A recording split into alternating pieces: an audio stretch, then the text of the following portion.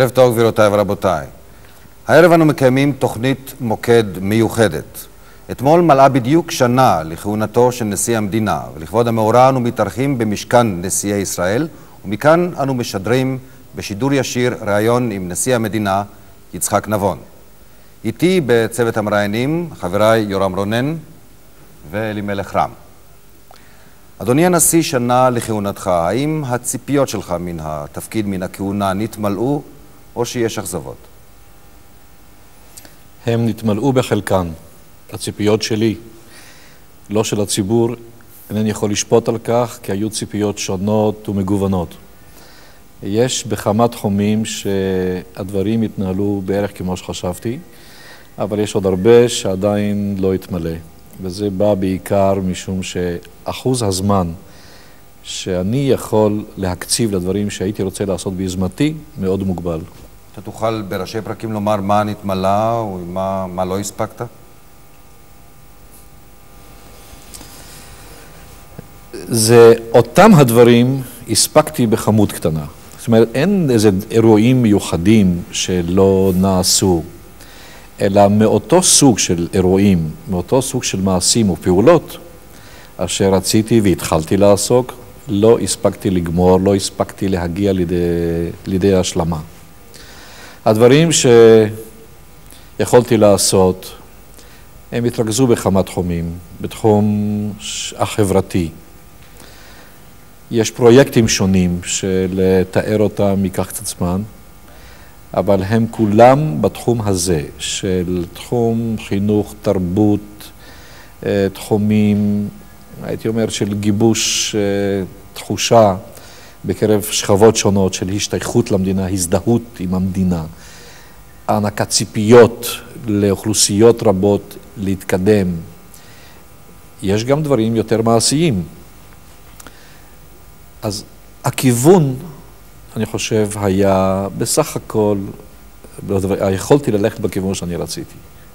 אבל כמובן, זה, זה לא הגיע לידי השלמה, צריך עוד לעמול הרבה. אולי אחר כך אה, נגיע לכמה מן המשימות והפעולות שרצית לעשות ושהספקת או שלא הספקת, אבל אולי נשאל שאלה קצת יותר אישית. אנחנו שומעים אותך לפעמים אומר שאתה נמצא כאן בכלוף של זכוכית, שאתה מרגיש אולי כאסיר ציון, ולפני שנכנסת לתפקידך, אני זוכר שהבעת תקווה שתוכל להמשיך לבוא בין הבריות, לאכול לפעמים פלאפל בשוק מחנה יהודה, לפצח גרעינים, להמשיך לבוא בין ידידיך בלילות שבת. האם היום, לאחר שנה, אתה מרגיש שאתה יצחק נבון אחר, או. שמתייחסים אליך כנשיא יותר, או כיצחק נבון, חבריך, ידידיך? היה כאן uh, כתב של טלוויזיה זרה, ושאל אותי, מה אתה הרווחת או מה אתה איבדת או הפסדת בזה שאתה נשיא? אמרתי, אני איבדתי הרבה ידידים שאינני יכול לראות אותם, והרווחתי הרבה קרובי משפחה.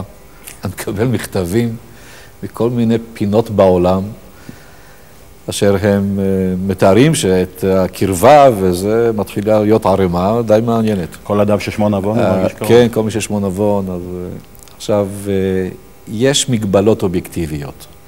זה, ידעתי מראש שתהיינה מגבלות קשות, והן קיימות. לא כל כך בתוקף פעילות מתוכננת מצידי, אורח חיים מתוכנן מצידי, אלא החיים עצמם, סדר היום הגדוש, והוא ממש גדוש, אני לא העליתי על דעתי כמה זה יהיה גדוש. שאין תנאי לצאת לשוק לחפש. לכן, בתחום הזה, בתחום הזה הוא מגביל.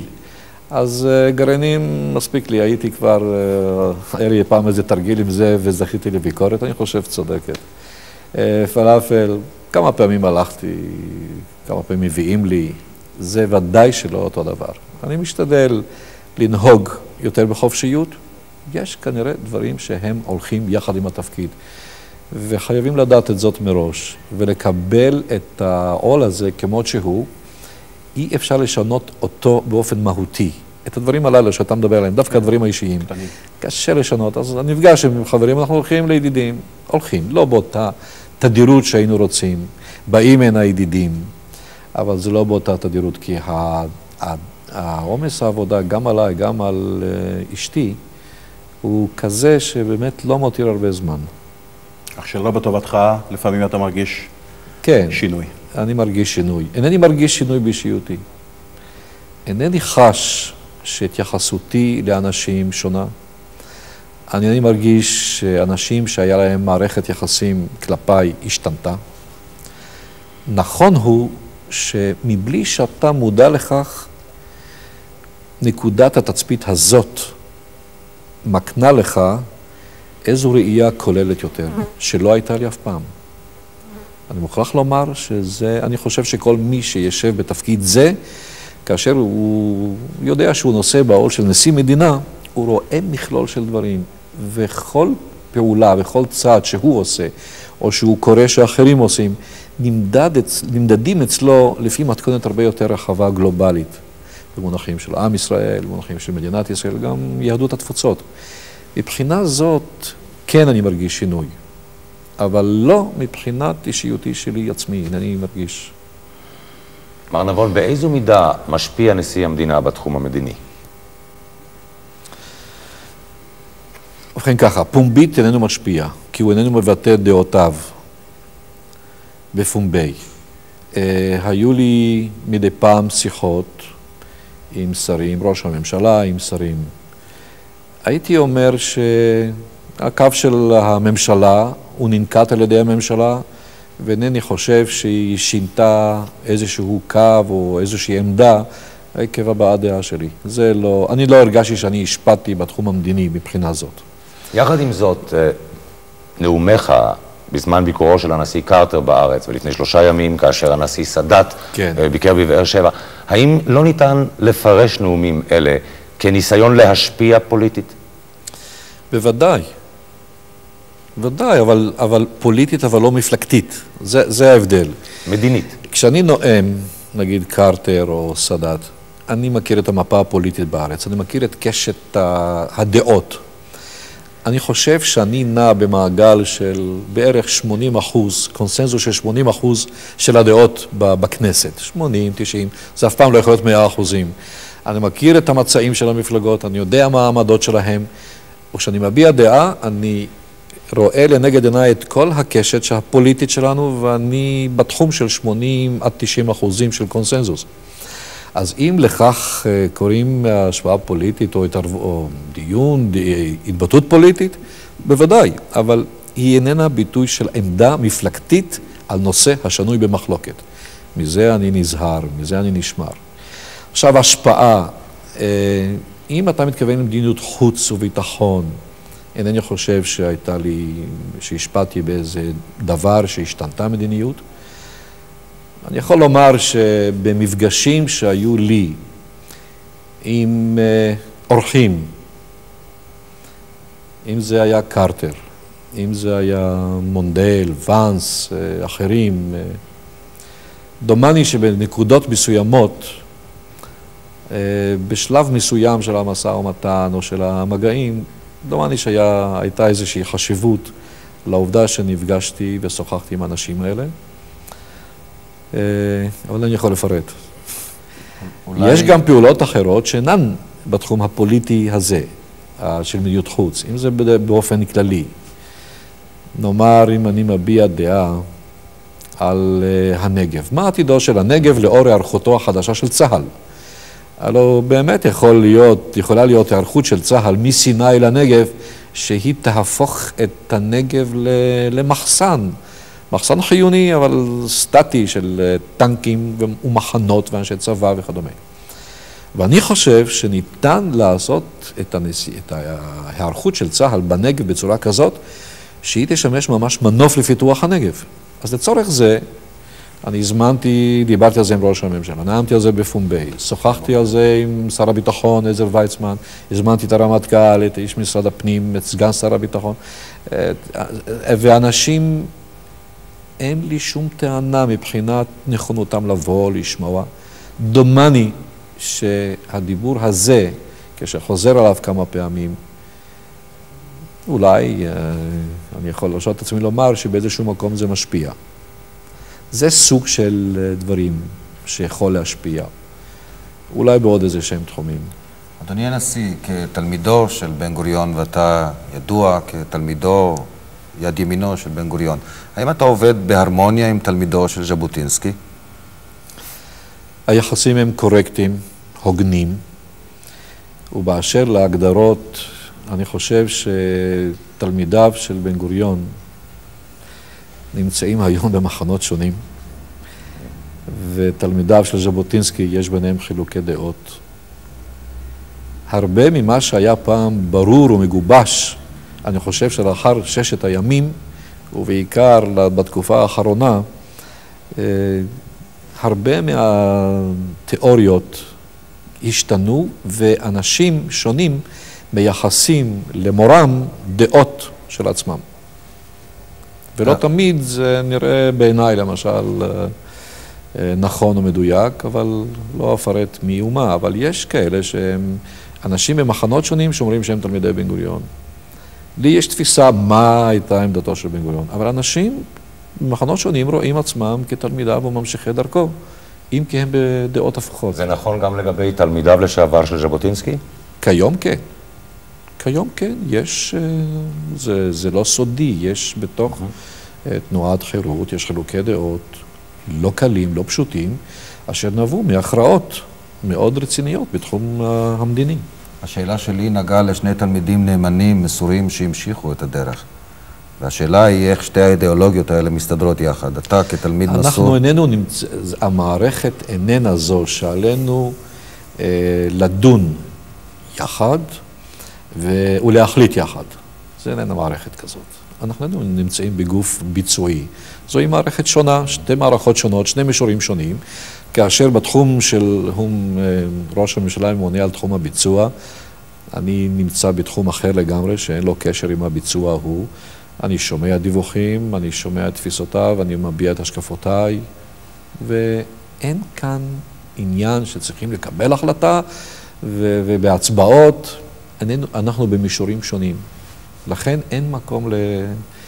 לקונפליקטים שיכלו להיווצר, כמו שיש בממשלה זאת, בממשלה קודמת, בין אנשים נמצאים בגוף שחייב להחליט ולבצע. אדוני הנשיא, אתה לא היית בסוד המשא ומתן עם מצרים, אבל כמי שבמידה מסוימת עמד מן הצד, ובמידה ידועה היה ודאי שותף אה, לכמה מן המהלכים. חוזה השלום נחתם בינינו ובין מצרים. מה הלאה? איך, איך נראים לך המהלכים הבאים? אני רואה בתחום הבילטרלי בינינו ובין מצרים, אני אופטימי. בגלל כמה נימוקים. קודם כל, הייתה בשבילי הפתעה גדולה התגובה של העם המצרי. זה לא פשוט. המשא ומתן התנהל 501 ימים. זה לא, זה לא מילתא זוטרתא, ולמרות זאת, והיו מעלות ומרדות ומשברים, ואף על פי כן, כאשר ההסכם נחתם והובא, הוא אושר על ידי הפרלמנט המצרי, הובא למשאל עם, והוא קיבל את הרוב הגדול שהוא קיבל.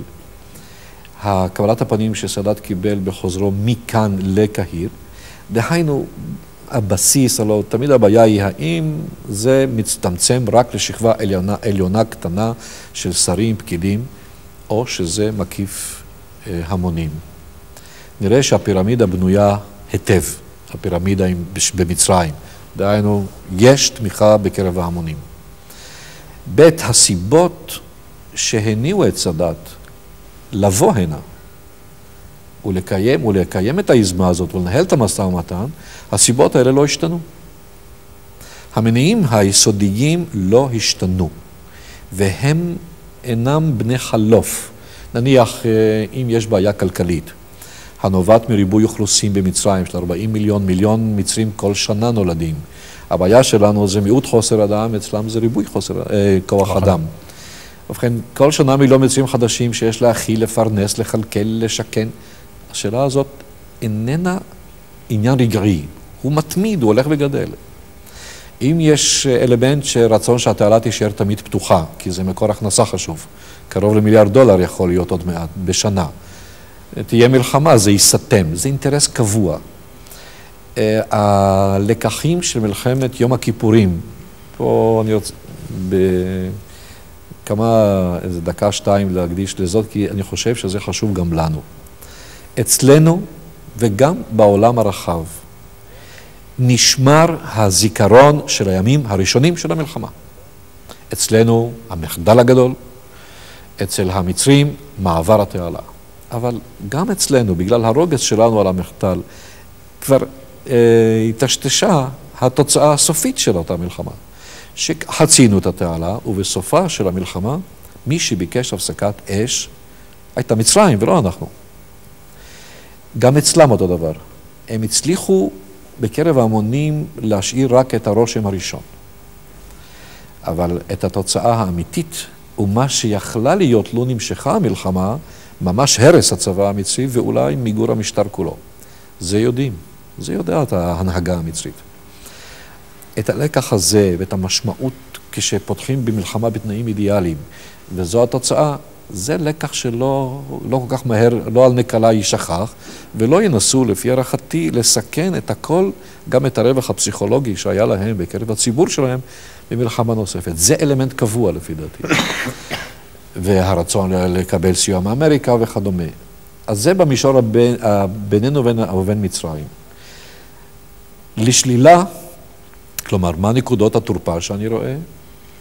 המשא ומתן על האוטונומיה, נושא רגיש עם הרבה מכשולים, הרבה מוקשים, כאשר יש כוחות מסביב שיעשו הכל כדי לנפץ אותו. תוכנית האוטונומיה נראית לך? אני אינני, בכל נושא אשר יש עליו חילוקי דעות מפלגתיים, אני לא אענה לך. אז ברשותך. בסדר. עכשיו, אם יש, אה, אבל אין חילוקי דעות, שזה נושא רגיש וקשה. אז מדינות ערב אחדות מתנגדות לו וינסו לנפץ אותו. אה, הצלחת המשא ומתן תלויה במידה רבה גם בהתנהגות של האוכלוסייה בגדה וברצועת עזה. יש נעלמים כאן. ובאיזו מידה תהיה השלכה לכל אלה על היחסים הבילטרליים שלנו עם מצרים? זוהי בעצם השאלה. כי לו היה מערכת יחסים בינינו ומצרים בלבד, אני הייתי מאוד אופטימי. כאן אני חושש קצת, אבל אם השלום יתייצב ותהיינה פעולות ממשיות בשטח, זה יכול גם להשפיע על הסביבה. אני מניח שאתה היית מאוד רוצה לבקר במצרים. האם במהלך שיחתך הקצרה עם הנשיא סאדאת לא הוזמנת לבקר, או שיש לך תוכניות לבקר אי פעם במצרים? במנטליות שלי ושל האזור הזה, אני לא מבקש בקשות כאלה. אם פעם יזדמן באופן מכובד וכדומה, אז אני מאוד אשמח, אני מאוד סקרן אה, לבקר במצרים. אני למדתי פעם על מצרים, נדמה לי שאני מכיר אותה כמעט על פה, את קהיר ואת ה... אבל uh, אני מאוד אשמח אם פעם יזדמן לי. אדוני הנשיא, האם אתה בעד פשרה טריטוריאלית? אני, אני, זו, זו שאלה דומה לשאלה לגבי האוטונומיה. הדעות שלי, לפני שנהייתי נשיא, הן ידועות. נאמתי, דיברתי בכנסת, הבעתי אותן בוועדת חוץ וביטחון ובפומבי. ברגע זה, מרגע שנכנסתי לנשיאות, אני נמנע מלהביע דעות אלה בפומבי, כולל פה, בתחום הזה. אבל אם בתחילת הריאיון אמרתי לך שאינני מרגיש שהאדם השתנה פה במהותו, אני לא השתניתי במהותי. אדוני הנשיא, שנים רבות היית חבר תנועת העבודה, מפלגת העבודה. אתה אומר שלא השתנית במהותך. אתה רואה עצמך עדיין כחבר תנועת העבודה? לא. אני אינני חבר תנועת העבודה, אינני חבר שום מפלגה כיום. והשיקולים שלי בדברים שאני אומר או עושה אינם, אינם נובעים מתוך השתייכות לאיזשהו פלג בציבור ובעם. אני חושב שזה צריך להישמר מזה מאוד. כמובן שיש לי אה, משקע שנשאר באופן טבעי לחיוב, לשלילה, לתופעות שונות, לערכים שונים, למושגים שונים. אה, פה ושם זה יכול גם לבוא לידי התבטאות. אני, אני אומר בקול רם, לעיתים קרובות, שבעיניי תנועת ההתיישבות זה, זה פאר היצירה היהודית במאת השנים האחרונות. לא הגדולה ביותר, אבל היפה ביותר. הקיבוץ, המושב. אבל אה, זה איננו דבר אה, מפלגתי, אלא יותר כערך, אני חושב, מאשר כדבר אה, מפלגתי פוליטי. הפעילות המפלגתית, הפוליטית, אפילו היכולת לומר בפומבי דברים, למשל על תוכנית האוטונומיה, להביע את דעתך בחופשיות, האם זה לא חסר לך לפעמים? זה היה חסר לי מאוד, ולפעמים, אה, גם עכשיו, קצת פחות. אני אה, שוחחתי עם אה, חבר בית המשפט העליון, ואמרתי לו, שמע, בוא נדבר, הלוא שנינו איננו יכולים לדבר בפומבי. ואז הרבצנו שיחה ככה טובה, ואמרנו כל מה שאנחנו חושבים, אבל uh, מתרגלים לזה. כשאתה מראש יודע למה אתה הולך, אתה, זו, זוהי מערכת של מגבלות שמבלי שאתה שם לב לכך, היא ככה עוטפת אותך, עופפת אותך. אתה רואה שאתה שואל ואני מיד אומר לך, זאת אומרת, הרפלקסים המותנים ככה הם פועלים. אדוני הנשיא, לאחר שתסיים את כהונתך במשכן הזה, האם תרצה לשוב לפעילות פוליטית? אני אינני יודע. אני, כרגע, אין לי תוכנית כזאת.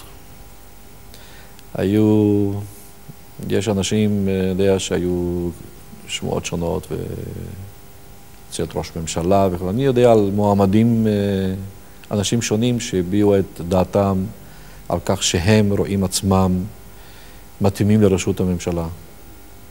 אני לא נמניתי עליהם. מה בדעתך לעשות לאחר שתפרוש עם כך?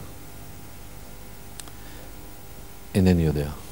עדיין אינני יודע. אני יודע שיש כמה דברים שהייתי רוצה לעשות, אבל אני חושב שאהיה יותר uh, חכם בעניין זה לאחר שאסיים בשלום, אני מקווה, את הקדנציה הזאת. אין ספק שתסיים בשלום. אני רוצה לחדד את התשובה הקודמת שלך. אמרת, ישנם אנשים שהצהירו שרוצים להיות ראשי ממשלה, אני לא ביניהם. כלומר, לא הצהרת עדיין שאתה רוצה להיות ממשלה, וזו ההזדמנות. האם אתה, אתה באמת לא רוצה להיות ראש ממשלה? אני עניתי לך בצורה ברורה, תסמוך, הצופים האינטליגנטים מבינים. אני אמרתי שיש אנשים שרואים עצמם כשירים לכך, שיש להם הכישורים לכך, ושהם מתאימים לראשות ממשלה. לי יש איזו תפיסה מה זה ראש ממשלה, מה, ומה המערכת הדרושה לו. אני מודה שאני לא ראיתי את עצמי, אינני רואה את עצמי... כשיר? מתאים לזה, כן. כך שאולי תרצה להיות ראש ממשלה, היית אומר שישנם אנשים שמנסים להכשיל אותך? אינני יודע. אולי נתייחס באופן ספציפי באמת ל... אינני יודע. כן, אולי באמת נדבר באופן ספציפי על ה... אני חושב שזה... אני חושב שיש כאלה שזה אצלם אותנטי, הם אולי באמת חושבים ככה. אז אם הזכרנו באמת, אה, לא, לא נדבר על, כמובן על אלה שרוצים להכשיל או לא להכשיל, אבל uh, נתייחס באופן ספציפי להצעת החוק uh, שהוסרה בינתיים מן הפרק של חבר הכנסת אברהם כץ, שהציע תקופת צינון למי שהיה נשיא המדינה לפני שהוא יוכל להיבחר לכנסת. מה דעתך על הצעת החוק הזאת? אני לא אביע דעתי על הצעת החוק הזאת. אני רק יכול לומר לך משהו שאני אמרתי לפני שנה, כשרק נכנסתי לתפקיד. נשאלתי בעניין זה, אמרתי, אינני מוציא מכאן אפשרות שפעם יחזור לחיים פוליטיים. כי יש כמה ארצות שזה קורה, כך אמרתי לפני שנה, אבל אני יודע על ידי מי נבחרתי. נבחרתי בכנסת על ידי אנשים ממפלגות שונות, גם מן הליכוד. ואני בערך דבר כזה אמרתי, ואני יודע שאם אמנם אגיע למצב כזה, שארצה לעבור לחיים פוליטיים פעם, אז אני יודע יפה מאוד שצריך, זה יהיה הוגן אם תעבור תקופת צינון, אה, מבלי שאתה תגיד לי או, או אתם תגידו לי. זאת אומרת, זו תחושת, יש איזושהי אחריות. איפה מידת ההוגנות שלך כלפי בוחריך? גם אם לא הייתי נבחר על ידי אנשים מן הליכוד. אלא רק על ידי אנשים ממפלגה אחת. אז על ידי העובדה שאתה נשיא, אתה צריך להכיר בעצמך את המגבלות שלך, וכולל איזה, איזה תקופת מעבר, אם אמנם אני רוצה לעסוק בכך. יכול להיות שלא. כלומר שלא אני... דרושה לך, לא דרושה לך הצעת חוק, לא דרוש לך חוק כדי... תראה, הכנסת סוברנית, הכנסת סוברנית אה, להחליט מה שהיא רוצה, ורשאית להחליט, רשאית לקבל הצעת חוק כזאת. כאשר נכנסת לתפקיד לפני שנה, שמת בראש סולם העדיפויות את המלחמה בפער החברתי, בפער הכלכלי. האם הביקור שלך בשכונת התקווה מהווה את תרומתך לכך? זו תשובה קצת ארוכה, אחרת, אחרת אני לא אצליח להסביר. אולי נתחיל ב... יש, אה, סליחה? אולי נתחיל בתוצאות של מה התוצאות? הוויכוח. לא, לא. אה, העניין הוא ככה. יש התמונה המצטיירת בארץ לגבי הגדרה מה זה פער, זה המילה כלכלית שאתה הוספת. ובכן, מקובל לומר שיש פער, והתיקון למצב הוא אם יהיה דיור יותר טוב, השכלה והכנסה. שלושה גורמים, שלושה אלמנטים יחד. ומתעלמים, השכלה אמרתי. כן. השכלה כולל חינוך. כמובן, במובן של... אה, ואני נוכחתי כבר לפני שנים רבות, שיש תחום אחד שהוא קשה יותר משלושה אלה, אבל קשה להגדיר אותו, קשה, הוא לא ניתן למישוש, זה התחום הנפשי, הפסיכולוגי. ואני ראיתי תופעות. קוטביות. מצד אחד ראיתי אנשים שחיו במצוקה, אה, במצוקה כלכלית, בתנאי דיור קשים, רמת השכלה נמוכה, והם הגיעו לדרגות גבוהות של מנהיגות.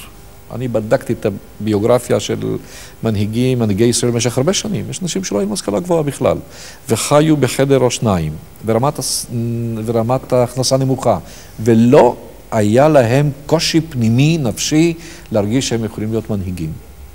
וזה איזשהו מודד, פירושו, אם אתה חושב שאתה יכול להיות מנהיג, פירושו שאתה גם חושב, ש... אז אתה שלם עם עצמך, ואתה עם זהותך ודעותיך, ואתה יכול להוביל אנשים אחרים. ולעומת זאת, אתה, אתה רואה אנשים אחרים שיש להם השכלה גבוהה, רמת הכנסה גבוהה, חינוך, דיור וכדומה, ואף על פי כן אינם רואים את עצמם כשרים לכך. פירושו שיש לחפש את הבעיה בתחום הנפשי, לא הטכני, ופה הקושי. ויש ציבורים שלמים בארץ הרואים את עצמם כאילו הם מחוץ לתחום, כאילו הם בשוליים. הם נקראים שכבות נחשלות, טעוני טיפוח, טעוני קיפוח, כל המילים האלה. והם סופגים את זה. והם סופגים את זאת. והם מקבלים עליהם את גזר הדין של החברה. ואני, בעצם זו הייתה הסיבה שאני הלכתי לנשיאות. חשבתי שאני אוכל, לפחות אשתדל, לתרום להם לתחושה פנימית שהם מסוגלים להגיע ליותר ממה שהם נמצאים. לנתק את הנכר, את, ה- את הרגשת הניכור שביניהם וביניהם, לא אנחנו והם. ובכן, שהם נמצאים על המפה, שהם, שמישהו חושב. אז נגיד, אתה דיברת על השכונה הזאת. שכונת תקווה, היו לי שתי מטרות. האחת, לה- להעניק להם איזו תחושה שאותו אדם שהוא הסמל, הוא לא שר שיכון, אני לא יכול לבנות להם בתים, לא אבטח להם בתי ספר ולא, ולא קופות חולים, בשביל זה יש שרים. אלא זה שמסמל ביניהם את המדינה, הוא בא אליהם, הוא מתעניין בהם, אכפת לו, זה לא ככה שזה הם ואנחנו, אלא הם שייכים לעניין, הם מזוהים עם המדינה, יש להם קשר לכך. איזו, איזו תחושה ש, שמישהו שומע, שזה מעניין. ב', להעיר גם את החיוב שיש בשכונה הזאת. יש הרבה מאוד חיוב, ואני ידעתי זאת לפני שבאתי. ולאחר שהלכתי, נוכחתי שזה אמת. דהיינו, זו פעולה דו-סטרית. מצד אחד, להראות את הבעיות ולהעיר אותן באור זרקורים, מצד שני, לתת לתושבים תחושה שמתעניינים ורוצים לדעת, ב', להגיד להם שהם מסוגלים להגיע, יכולים לעלות, יכולים לקדם את עצמם בעזרת עצמם. אתה יכול, אדוני הנשיא, להצביע על תוצאות ממשיות מן הביקור הזה? אני יכול רק אה, לשפוט לפי מכתבים שקיבלתי, לפי שיחות שהיו לי עם אנשים לאחר הביקור. הם טוענים שהמטרות האלה שאני תיארתי לך הושגו. אבל אה, אני יכול לומר לך אם זה לאורך ימים או שזה לטווח קצר. אתה יודע, אחד הדברים החשובים הוא לא להדביק תווים, לא להדביק תו, אות על מישהו. אדוני הנשיא, עניין אחר שהעלית לראש סולם העדיפויות שלך הוא היחסים שלנו עם המיעוט הערבי בישראל, כן. יחסים שהשתבשו לדבריך בשנים נכון. האחרונות. מה, מה הצלחת לעשות בנושא הזה? ובכן, פה היה שיבוש בגלל מערכת בחירות. הייתה מערכת בחירות ולא יכולתי לבקר מספיק בסקטור הערבי, חודשים ארוכים לא ביקרתי. בחירות מוניציפליות. בחירות מוניציפליות, כן. לעומת זאת, השתדלתי כל פעם שהייתה איזו הזדמנות לדבר עליהם בלשונם. אם זה היה יום העצמאות, אם זה היה איזשהו חג. הזמנתי כאן את ראשי העדה המוסלמית, הדרוזית, היו אירועים שונים שאני הזמנתי אותם. אה, פתחתי תערוכת הספר הערבי, שבוע הספר הערבי בבית הגפן וכדומה. אה, יש לי, מתוכנן לי איזה שהם אה, סדרה של ביקורים. גם פה יש ציבור של חצי מיליון בערך אנשים, אשר מבחינה כלכלית אינני חושב שיש להם בעיות. לא כלכלית, לא, לא השכלתית, הם במצב תקין לגמרי. יש בעיות של, איך אמר ערבי אחד, שהוא כבר נפטר, עבדול עזיז זועבי, הוא אמר, הפרובלמה שלי זה שיש כאן מאבק, מלחמה, בין עמי ובין מולדתי. המולדת שלי זה ישראל, העם שלי זה הערבים, ויש מלחמה ביניהם, ואני ערבי-ישראלי. איך לחלץ אותם מן המבוך הזה ולתת להם גם תחושה שגם הם שייכים לממסע, למדינה הזאת, מדינת ישראל. השייכות שלהם למדינה. היה לי הדבר הזה קל בעינינו, כי זה, זה חצי מיליון ערבים ויש אינטליגנציה לא, לא קטנה שם. ואני חושב שצריך לעשות. לא עשיתי מספיק, הנה זה תחום שאני לא עשיתי מספיק בגלל הסיבות האלה, ויש עוד סיבה אחת, אבל היא מקצועית, אני לא אגיד אותה. טוב, נעבור אולי לעניין אחר. היה מקובל, אדוני הנשיא, שנשיא המדינה בדרך כלל איננו אה, מתערב במינויים, או חותם על מינויים אה, מכוח אה, תפקידו, מכוח סמכותו. בכל זאת, לפחות במקרה אחד, שמענו במקרה של שגריר ישראל בוושינגטון, אפרים עברון, שניסית לעכב את המינוי. האם אתה סבור לגופו של עניין שנשיא המדינה צריך לפעמים להתערב במינויים אלה או אחרים? העניין הוא ככה, לפי החוק כתוב ימנה. נשיא המדינה ימנה שגרירים וכדומה. אני, אני שאלתי אם, אם זה אומנם אה, ימנה פירושו שזה בסמכותו למנות ואם לאו אז אה, אי אפשר לעשות את ה... אז המינוי לא יוצא לפועל. אבל לפי הפירוש המשפטי ימנה, הוא חייב בעצם למנות, חייב בעצם, אין לו, אין לו פררוגטיבה לא לעשות זאת. במקרה הזה זה גם לא דבר אישי נגד, אני חושב, בחור מאוד מוכשר, אבל זה היה בזמן של איזשהו משבר בינינו, בין ארה"ב, כשחשבתי שהאיש שצריך ל... להיות, שגיד, צריך, שהכישורים שלו צריכים להיות יותר בתחום החיצוני, ההסברתי, אני חשבתי שאנחנו באים למשבר וצריך ללכת להופיע בפני ציבור וכדומה. הוא, יש לו כוח רב מאוד בתחום הדיפלומטי, היותר שקט. וחשבתי שעוד מצוין כמספר שניים, או... אבל זה לא איזה פסילה אישית של האיש. האם הדבר דומה גם בנושא החנינות? האם ייתכן מצב שבו שר המשפטים ימליץ לחון מישהו ואתה תסרב? כן, יכול להיות. יכול להיות קרה? מצב. אה, היה, היו מקרים של חנינות ששר המשפטים המליץ, ואני שוחחתי איתו, ואנחנו שינינו כמה מן ההחלטות. היו מקרים כאלה. האם אתה גורס, אדוני הנשיא, כי יש להוסיף על סמכויותיו של נשיא המדינה? כפי שאני רואה את התפקיד של הנשיא, אינני אמרתי זאת, זה לא, זה לא לצורך מליצה או השתעשעות. אינני צריך אף סמכות אחת יותר. אתה מסתפק כן. בסמכויות שהחוק מעניק. בהחלט, מפני שמה שאני חושב תפקידו של נשיא, או מה הוא צריך לעשות בכיוון שאני קצת דיברתי, זה, זה מספיק לו. זה בכוחו של הסמל הזה, בתחומים רבים ניתן הרבה לעשות. אין לי שום סמכות יותר. אנחנו קרובים לסיום, אבל עוד שאלה אחת, אנחנו יודעים שהקשר עם התפוצות, עם העם היהודי, הוא גם כן נושא שיקר לך, כן. אתה גם יושב ראש הוועד הפועל הציוני. האם uh, אתה מתכוון לצאת uh, לביקור באחת התפוצות, בארצות הברית למשל? מדוע בעצם לא יצאת הי... עד עכשיו? הייתה מחשבה בנובמבר לצאת לארצות הברית, ואני דחיתי את הביקור. גם הייתה פגישה נועדה עם קרטר, וזו פגישה עם, עם הקהילה היהודית, עם התנועה הציונית בארצות הברית, ואני דחיתי אותה. כי ה... הייתה תקופה שלא, התקופה לא מצאה חן בעיניי. לא, לא, השעה לא הייתה כשרה. אם, אם השעה תיראה כשרה, יכול להיות שאני אעשה זאת. ברגע זה שום דבר לא נקבע. אדוני הנשיא, אולי לסיום שאלה קצרה או תשובה, אני מקווה קצרה. האם אתה עוסק בכתיבה? יש לך פנאי לעסוק בכתיבה גם היום? מה שאני כותב עכשיו זה נאומים. ואני נאמתי בשנה הזאת יותר ממה שנאמתי ב-12 שנות היותי בכנסת. ואני כותב בעצמי את הנאומים, וזה יגיעת בשר ורוח, וזו המלאכה הקשה ביותר שמוטלת עליי. לא מחזות, לא פולקלור. אה, כן, דבר אחד, כן, כן, זה, אומנם שמי לא נקרא על זה, אבל הייתה תוכנית, אה, כן, הייתה איזושהי תוכנית שהיא גם הוסרטה בטלוויזיה, שנקראת מזמורים, ובאו הנה אנשים, והיה פה פסנתר, ועברנו על אה, תוכנית שלמה, וכתבתי את הטקסטים. זה, זה היה החטא היחידי שלי, לצערי. עוד לא אה, הייתה לי הזדמנות. אני חושב שבחטא הזה, אדוני הנשיא, אנחנו נסיים. אני מודה לך מאוד, ואני מודה לך על שהואלת לארח אותנו במשכן המקסים הזה. אני מודה גם לחבריי המראיינים, יורם רונן ואלימלך רם, ולכם, הצופים בבית, ערב טוב ממשכן נשיאי ישראל ושלום רב.